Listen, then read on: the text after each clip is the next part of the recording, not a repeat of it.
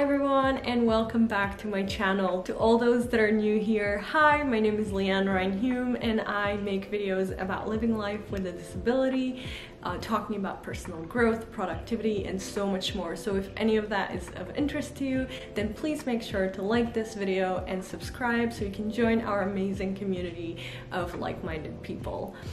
So today's video is going to actually be somewhat of a I guess, life update. So much has happened since the last time I sat down and talked to all of you. As you can already tell from the background behind me, uh, it is very different from the video that I've done. Uh, if you haven't watched that uh, yet, then please make sure to check it out. I think it'll be either here or here. Um, but basically, last time I connected with you has been in Edinburgh.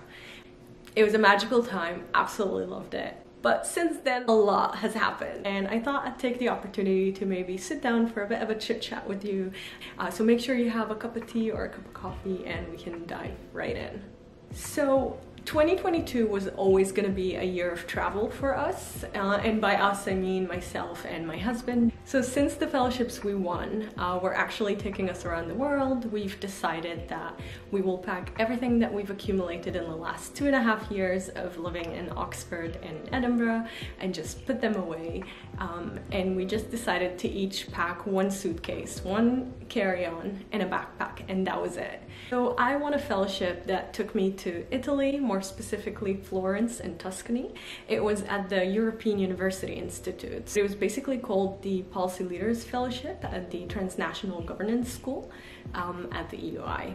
It was a great experience. It was about five months of living in Italy and I have absolutely enjoyed every single bit of it. The people, the fellowship itself, the experience that I gathered and gained throughout it was just spectacular. I'll make sure to include a link down below in the description box in case you're interested in learning more about it and perhaps even apply. I would say just in general, these five months of living in Italy have been absolutely a dream. Immersing myself in an Italian culture, Italian cuisine, of course, how not? All these amazing pasta dishes were just mwah, delicioso.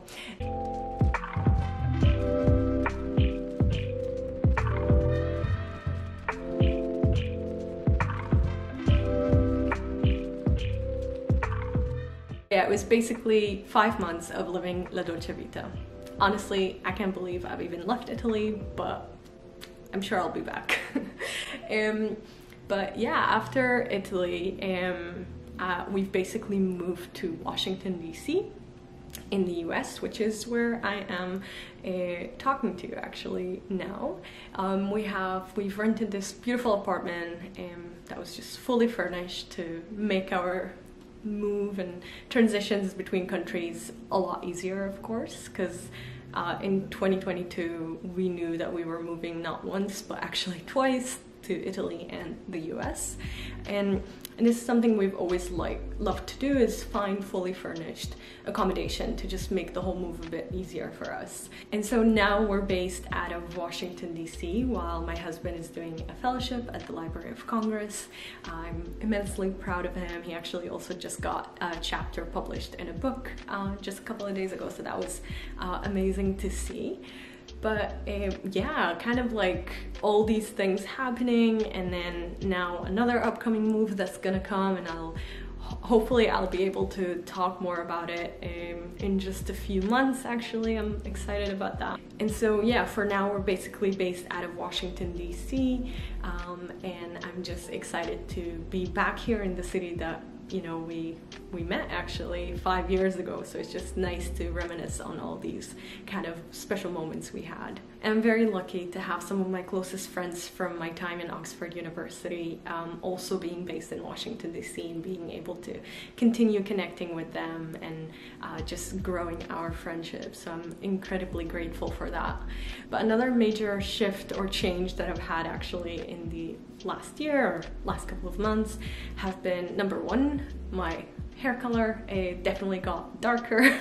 Um, I've had it you know I've, I've had blonde highlight slash balayage for the last four years or so. So I just thought okay you know what? I want some change. I want to go back to kind of darker tones and roots. Um, and so that's kind of where I'm at at the moment and I like it. Um, and then the other major thing. I don't know if you've noticed it already or not, but I actually ended up getting Invisalign.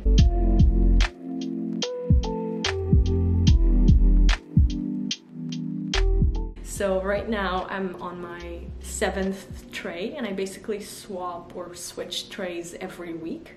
Um, and I have 27 trays in total, so just short under seven months of a treatment plan.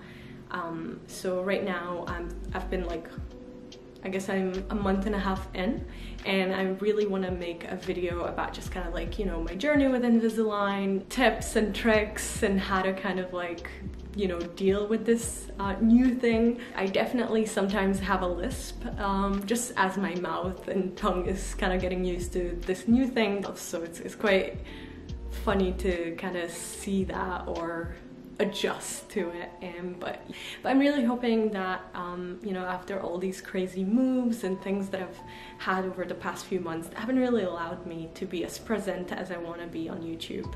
Um, I'm really hoping that for the next few months I'll be able to be a bit more consistent with it and I'll be able to share more about my life both with you know um, both about kind of living with a disability and just empowerment, personal growth, and so on, but also on the other hand, share a bit more on productivity, public speaking. But yeah, I've been filling my days here with kind of coaching some of my clients, doing my public speaking engagements, as well as um, hitting the gym pretty consistently actually, uh, which I've been really happy with because it's making me feel a lot um, stronger, more confident, especially with my illness, and it's allowing me to, to be more stable, which I really appreciate.